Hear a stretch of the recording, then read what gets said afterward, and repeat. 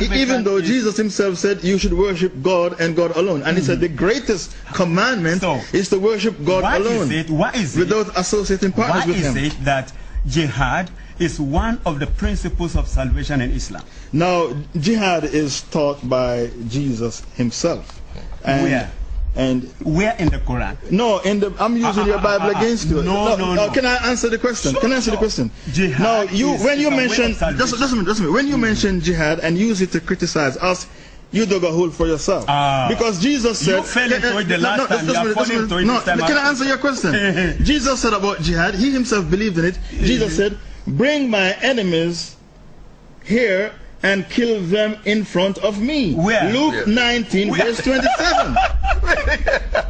Luke, did 19, that? Luke 19, verse Find 27. that in your Bible. Find it. Bring my enemies here. He said, All the people who mm-hmm. refuse to accept me mm-hmm. as their king, bring my enemies all in front of me. The, the Shakers. You understand? Luke 19, verse 27 and kill them. The problem with the Christians is that we, the Muslims, know the Bible more than you. Oh, you understand? Read that out of your Bible here, Bishop.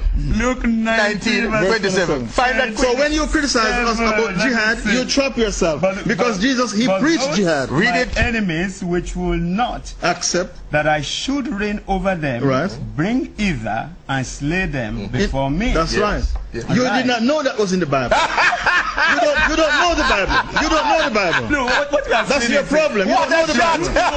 you know. So by criticizing us about jihad, you mm-hmm. trap yourself and Do you you can't know- get away now, from it. do you know that- Jesus preached jihad. Look at this, look Jesus at was this. not a Look soft person. He preached jihad. Look at this. I'm not come to bring peace, but to bring war. That's right. Turn a man against Those his who own are family. not, You understand? Those who are not. So You can- whole you aspect cannot- of Jesus. Eh? Jesus preached peace. No, he said, bring He my said, "I'm not come to enemies bring- yeah, well, who did not accept me and kill them Islam- in front of me. Right. Islam. So, so, you don't know your Bible because you only choose Islam certain segments from the Bible. Okay.